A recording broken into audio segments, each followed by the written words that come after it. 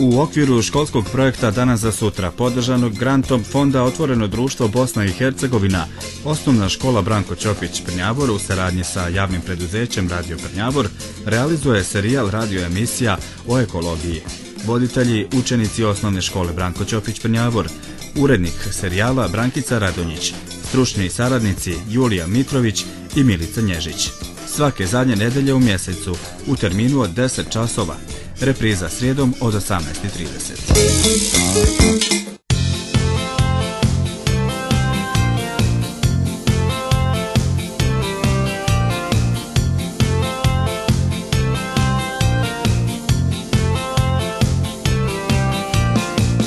Priroda je sve okolo, a čovek u sredi, ko se hvata u to kolo, mnogo više vredi. Ko se hvata u to kolo Mnogo više vredi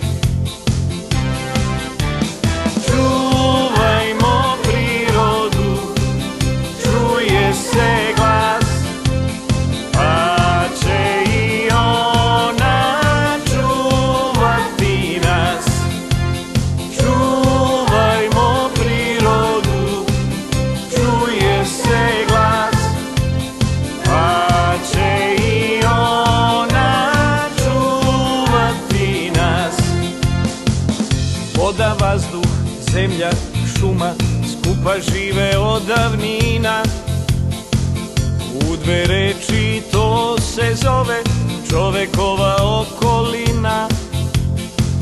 U dve reči to se zove čovekova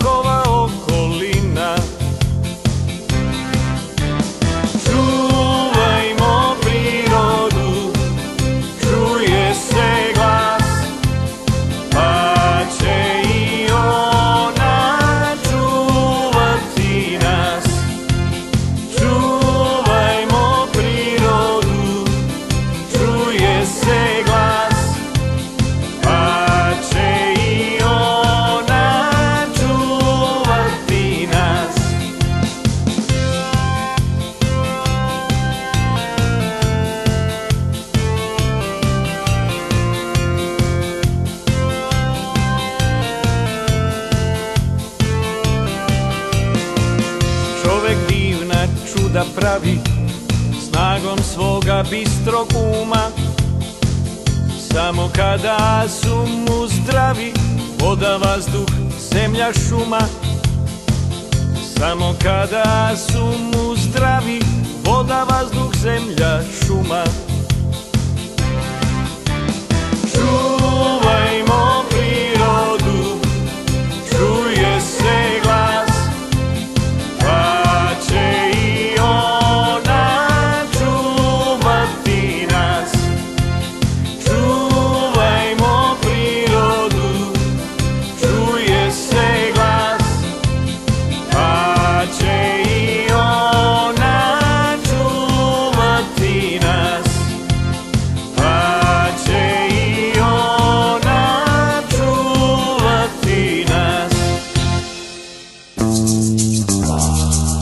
Serijal radio emisija o ekologiji. Danas za sutra.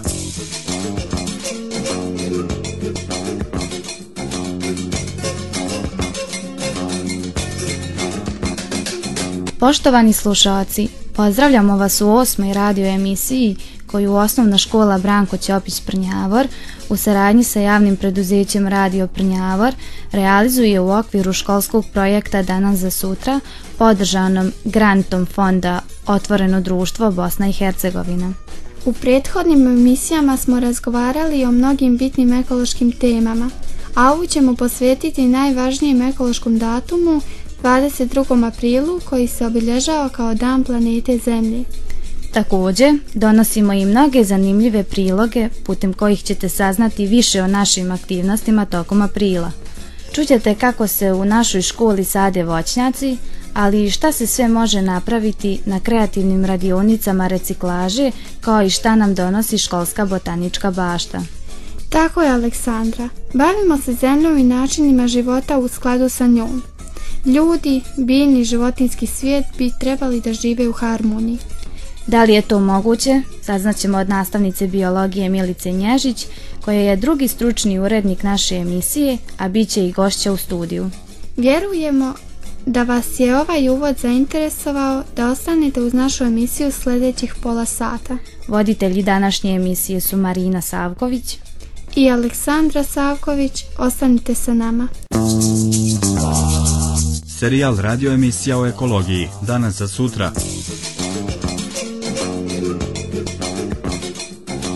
Marina, kaži meni i našim slušalcima što je to održivi razvoj?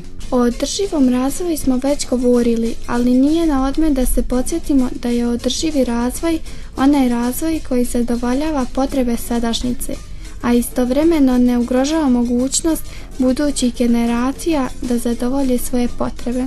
Upravo smo ovu emisiju posvetili Danu planete, Zemlje 22. aprilu. 22. aprila u više od 150 zemalja širom svijeta obilježava se Dan planete Zemlji. Namjera ovog obilježavanja jeste da ljude širom svijeta podsjeti u kakvom je stanju priroda planeti na kojoj živimo, kao i da se stanovništvu ukaže na probleme ekosistema, na zagađenje naseljenih mjesta i na to kako poboljšati kvalitet životne sredine. Dan planete Zemlji se 22. aprila službeno obilježava od 1992. godine, kada je tokom konferencije Ujedinjenih nacija o životnoj sredini i razvoju u Rio de Janeiro usaglašen dugoročni program za promociju održivog razvoja. A što smo mi uradili povodom Dana planete Zemlje? Tokom aprila, a povodom Dana planete Zemlje, realizovali smo mnoge aktivnosti kako bismo pomogli našoj planeti. Realizovali smo ekološke radionice i predavanja. Podsjetit ćemo da su tokom prošlog polugodišta u sklopu svjetskog pokreta Let's Do It naši učenici i nasljednici posadili su 120 sadnica crnog bora i 10 drvenastih i grmolikih biljaka. Sadnju drveća nastavili smo i u ovom polugodištu tako što smo u dvorištima centralne i područne škole Štrevci posadili 27 stabala voća. Formirat ćemo i male povrtnjake sa velikim brojem vrsta povrća, začinskog i ljekovitog bilja. Tako ćemo na časovima poznavanja prirode i biologije moći pratiti rast, razvoj i raznolikost biljnog svijeta. I ove godine odazvali smo se pozivu globalnog čišćenja tako što su naši učenici i nasljednici u sklopu akcije Let's Do It očistili školska dvorišta i pomogli u čišćenju našeg grada. Zemlja je jedna od osam planeta u sunčevom sistemu. Treća je planeta po udaljenosti od Sunca i za sada je jedina poznata planeta na kojoj ima života. Oko 71% zemljine površine je pokriveno vodom. U prošloj emisiji smo govorili o tome kako je količina pitke vode na planeti Zemlji mala, zašto je važno da čuvamo i štedimo vodu i koji su načini da to radimo. Ostalih 29% površine naše planete se sastoji iz kontinenata i ostrva. Zemljište je nevjerovatna mješavina praha od kamenja koja sadrži razne minerale, ostatke biljaka i životinja, vazduha i vode. Po zemljištu hodamo, igramo se, uzgajamo biljke i drveće, gradimo kuće, zgrade i tako dalje. Zemljište je poput dobre vile koja pomaže da sjemenje pušta svoje korijenje i izrasta u biljke koje jedemo i koje nam daju kiseonik koji udišemo. Tu se nalaze velika bogatstva i to ne samo zlato, dijamanti i drago kamenje, već i ugalj, nafta, bakar, željezo i mnoge druge rude. Zemljište je veliko bogatstvo koje imamo i zato ga moramo ne samo čuvati, već mu trebamo pomoći da vrati stari sjaj. Serijal radio emisija o ekologiji. Danas za sutra. U prethodnim emisijama smo razgovarali o aktivnostima koje su planirane projektom Danas za sutra. I proljećni april su obilježile radionice kreativne reciklaže na kojima su se družili učenici, roditelji i nastavnici. Prilog sa lica mjesta je pripremila urednica naše emisije Brankica Radonjić. U okviru našeg projekta i april su obilježile kreativne radionice. Evo nas u područnoj školi Štrpci gdje učenici treće trijade sa svojim nastavnicima pokušavaju da naprave nešto novo, nešto lijepo od materijala koji su otpisani. Evo da vidimo šta se to danas radilo. Ja se zovem Slaven Lazić, E, osmi sam razred osnovne škole Branko Ćopić. E, radili smo e, vaze od plastike. Ja sam radio sa drugarom Aleksandrom Salkovićem, Stefanom Đenićem. Nastavni su bili Jelena Radivojević Stupar, Brankica Kojanić Slatinac i Ljiljana Repić. Ja sam Valentina Rakanović, ostali smo na sekciji tehničkog obrazovanja, farbali smo e, naslonjača od stolica, za šta će ti naslonjači služiti kad postanu novi, ljepši i uređeni? Služit će za nazive biljaka i to će stojati u dvorištu škole. Slavene, šta ti misliš o tome da se od nečeg starog napravi nešto novo, lijepo? Pa mislim da je tu nešto dobro, od nečeg što je staro možemo napraviti nešto bolje. Valentina, koliko ste vi danas mogli da pokažete svoju kreativnost? Pa mnogo jer smo na razne načine mogli da pokažemo koliko znamo i umijemo. Pored učenika na radionici smo susreli nekoliko učitelja i nastavnika. Razgovaramo sa učiteljicom Jasno Marić koja će nam objasniti suštinu ovakvih radionica. Svrha naše današnje radionice kao i mnogih e, do sada druženje djece, razvijanje pozitivnog odnosa prema radu, pozitivne komunikacije između nastavnika i učenika. Vidjeli smo da su na stolovima upotrebljavani različiti materijali, da, je, da su korištene različite tehnike. Evo da čujemo nešto više o tome. E, koristili smo različite materijale kao što su karton, kolaž papir, različiti papiri u boji, ukrasni papiri, ukrasne trake, tehnike koje smo koristili su dekupaž tehnika, e, tempere, flomasteri. Danas su nastali brojni proizvodi koji su u stvari e, za svakodnevnu upotrebu u kući, e, a suština je da je to nastalo od nečega što bi u stvari bilo bačeno. Koliko je ta kreativna reciklaža u stvari zastupljena u našem svakodnevnom životu ili nije? U posljednje vrijeme je jako zastupljena moguće je izraditi različite predmete od materijala koji se inače baci i ne upotrijebi, a ovako učimo e, djecu da čuvaju našu okolinu i da iskoriste stvari koje trenutno nisu za upotrebu. Proizvodi naše današnje radionice su kutije za nakit, različite posude za olovke i za druge namjene, vaze za cvijeće, table za ključeve, postolje za mobilni telefon i slično.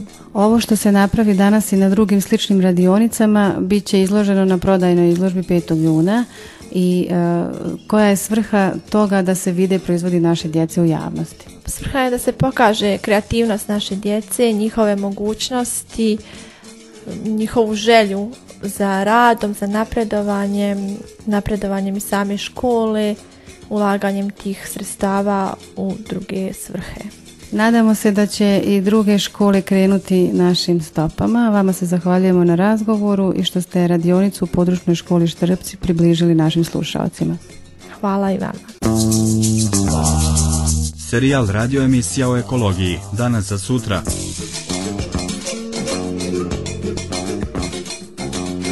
Marina, u posljednje vrijeme mnogo se govori o dobrobiti naše planete. Možeš li da mi objasniš u čemu je dobrobit životne zajednice i čovječanstva planete Zemlje? Naš dom, planetu Zemlju, karakteriše jedinstvena zajednica života. Dobrobit životne zajednice i čovječanstva zavisi od očuvanja zdrave biosfere i svih njenih ekoloških sistema.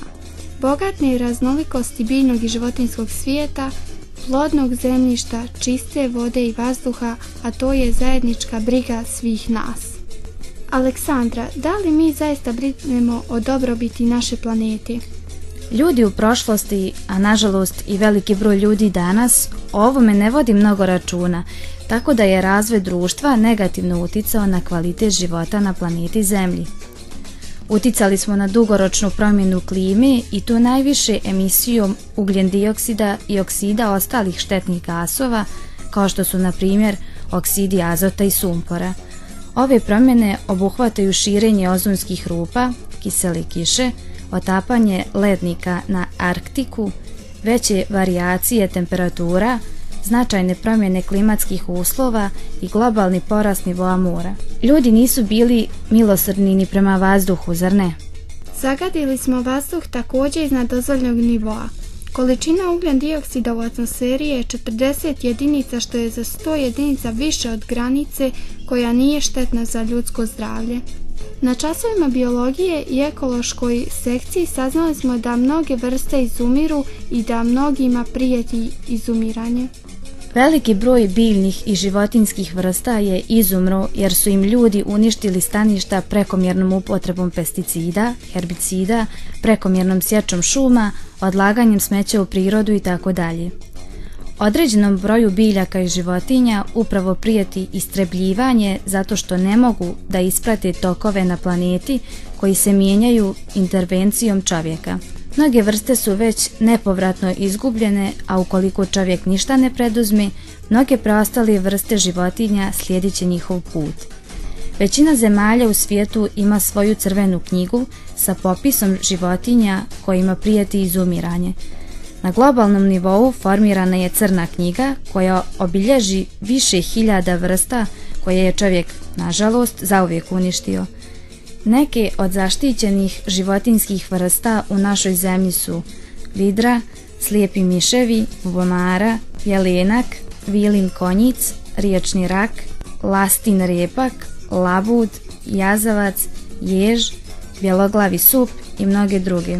Ipak nije sve izgubljeno, ali ukoliko ljudi danas ne promijeni svoj stil života, ne čeka na svjetla sutrašnjica. Upravo zato se naš projekat i zove Danas za sutra.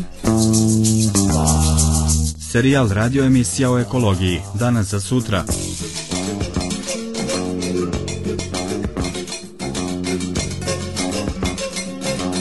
Pravo je vrijeme za razgovor sa našom gošćom. Sa nama u studiju je Milica Nježić, stručni urednik naše emisije. Dobro nam došli.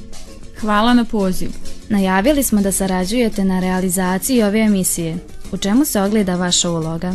Moja uloga u realizaciji ovih emisija je uloga stručnog saradnika. Kao što znate, ovaj ciklus emisija govori o ekologiji i mi smo izabrali e, stručne teme koji prate ekološki kalendar.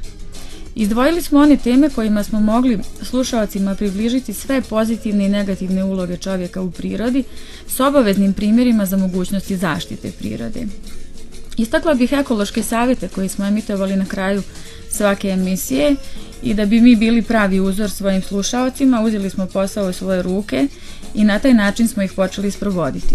Sakupljamo plastiku, čištimo okolinu, imamo ideje o botaničkoj bašti, sadimo voćnjake, Iskoristila bih ovu priliku da pomenem i 22.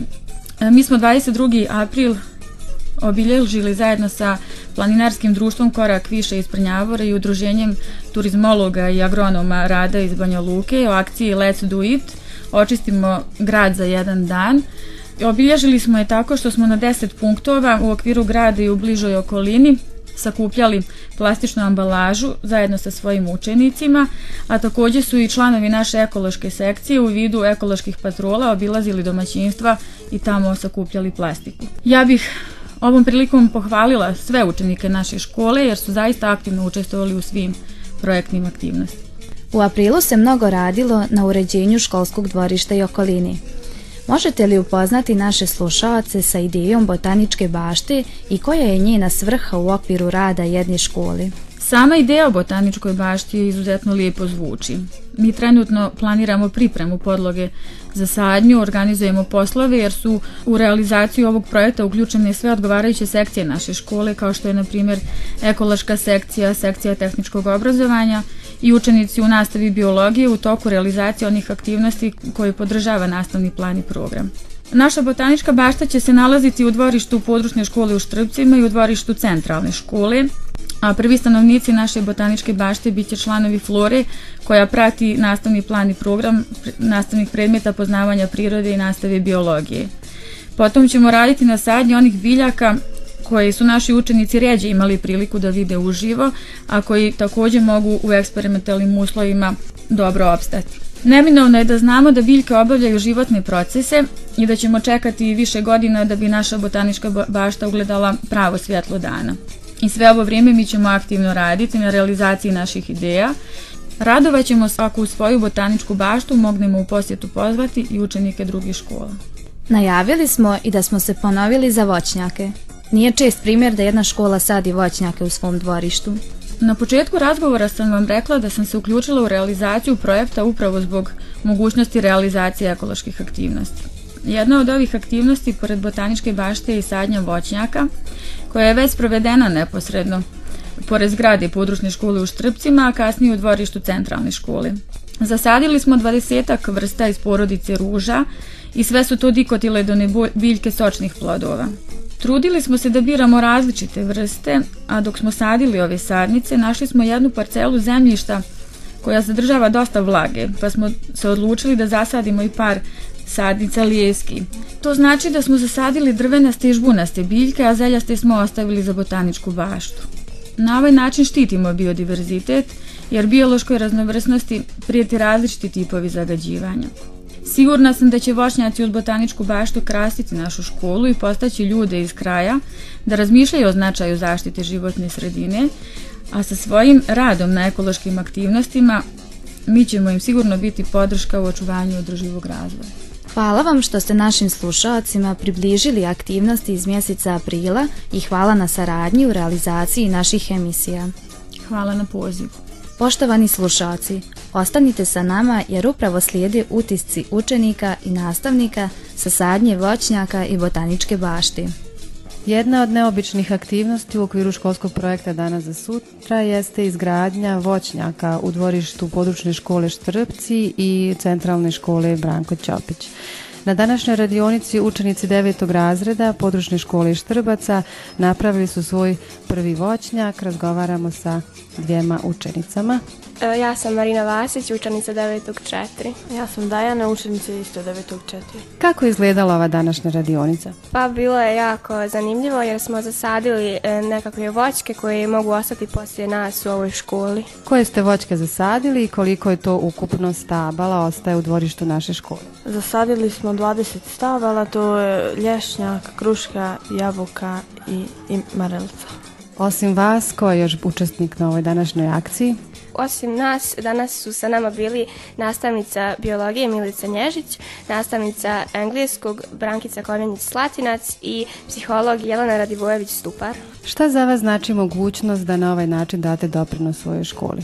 Pa e, znači nam tu da će poslije nas ostati nešto iza nas u ovoj školi, e, čime se mi možemo poslije pohvaliti i da ostali učenici vide da smo mi to zasadili. Koja je vaša poruka vršnjacima iz drugih škola? Pa da bi oni trebali isto tako kao mi i da isto iza njih ostane tako nešto. Naš projekat uzima maha, april je proljećni mjesec, nastavljamo sadnju i u centralnoj školi započeta je sadnja voćnjaka i naravno botaničke bašte koja je planirana projektom danas za sutra. Razgovaramo sa učenicima 8.1 razreda. Ja sam Marko. Danas smo na času biologije u školskom dvorištu posadili voćnjaka koji je početak botaničke bašte. Šta ste konkretno zasadili? E, ja sam Marko, zasadili smo razne vrste voćki, zasadili smo šljive, višnje, jabuke, kruške, također smo zasadili i lijeske kao jedan red borića. To svakako niste mogli raditi sami, ko vam je u ovom poslu pomagao? Pomagala nam je nastavnica biologije Julija Mitrović, psiholog Jelena Radivojević Stupar i kućni majstor Marinko Vračević. Suština botaničke bašte jeste da vam pomogne u izvođenju nastave prirode i biologiji. Kako je to planirano? Ja sam Jovana, e pa ovako bit će nam ljepše i zanimljivije jer ćemo na biologiji o voćkama i drugim biljkama e, moći učiti na licu mjesta. Po tvom mišljenju, da li će učenici naše škole održavati voćnjak i baštu i koja je tvoja poruka za mlade? Pa ja mislim da će svi paziti da ne gazimo te biljke i da će ih održavati i da ćemo živjeti u skladu sa prirodom. Marko, mi se trudimo da naš projekat danas za sutra postane primjer drugim školama i drugim učenicima. Šta vi možete poručiti svojim vršnjacima? Svakako se nadamo da ćemo biti uzor i primjer drugim školama, jer ovo je danas bilo dosta e, zanimljivo i uzbudljivo. Bila je to neka e, drugčija e, radionica od ostalih e, i kasnije ćemo svakako od toga imati neku korist. Serijal radio emisija o ekologiji. Danas za sutra. Aleksandra, mislim da je naša današnja emisija bila zaista zanimljiva i sadržajna. Drago mi je da smo našim slušalcima prenijeli toliko novih informacija. Ali to svakako nije kraj. Mi smo pripremili još nekoliko korisnih savjeta koji svakome mogu pomoći da živi na pravi način i brine o našoj planeti i njenoj dobrobiti. Ne ostavljajte otpad gdje mu nije mjesto, a pogotovo ga ne ostavljajte u prirodi. Odvajajte sekundarne sirovine i šaljite ih na reciklažu. Papire odlažite u posebne kontejnere jer ćete na taj način doprinijeti čuvanju šuma i poboljšanju kvaliteta vazduha. Sadite drveće. Jedna drvena stabiljka dnevno oslobodi kiselnika potrebnog za disanje četiri čovjeka. Za razgradnju plastičnih boca u prirodi potrebne su stotine godina. Pet ambalažu donosite u školu. Staklo je materijal koji se u potpunosti može reciklirati, a da bi staklena boca bačena u prirodu nestala, potrebno je 4000 godina. Stoga, staklene boce odlažite u posebno označene kontejnere. Izbjegavajte upotrebu herbicida, pesticida i fungicida, jeste teže, ali ćete imati zdravo zemljište. Proizvodite kompost, tako ćete pomoći zemljištu da vrvi od života. Proizvodite hranu na organski način ili ukoliko nemate tu mogućnost, kupujte organsku, sezonsku i lokalnu hranu. Budite aktivan član društva, uključite se u ekološke akcije u svojoj zajednici. Poštovani slušalci, ovim smo vam predstavili projektne aktivnosti za aprilsku emisiju. Sa novim temama i novim gostima pratite nas i kraje maja. Ispred osnovne škole Branko Ćopić sa vama su se družile učenice Aleksandra Savković i Marina Savković. Jedan ekološki pozdrav od nas, čuvajmo prirodu i ona će čuvati nas.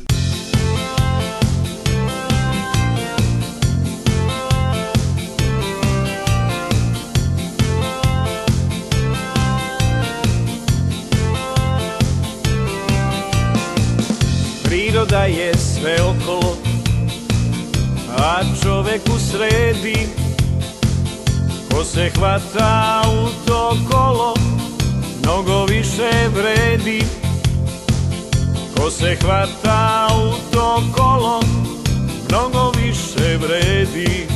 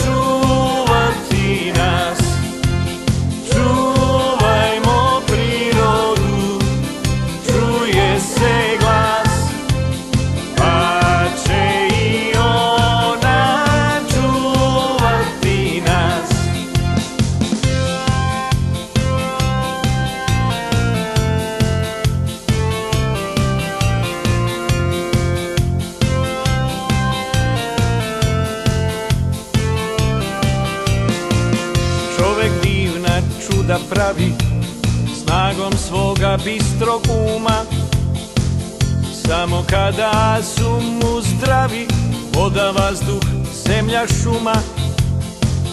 Samo kada su mu zdravi voda, vazduh, zemlja, šuma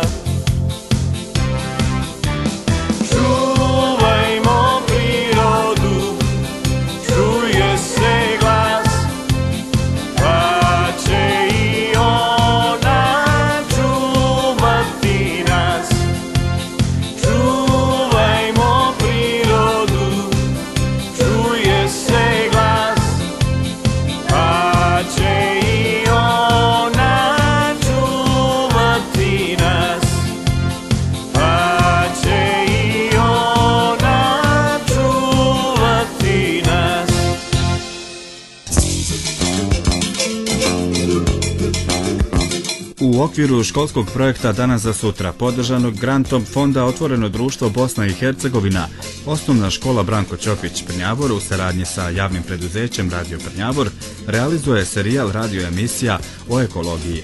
Voditelji učenici osnovne škole Branko Ćopić Prnjavor, urednik serijala Brankica Radonjić, stručni saradnici Julija Mitrović i Milica Nježić.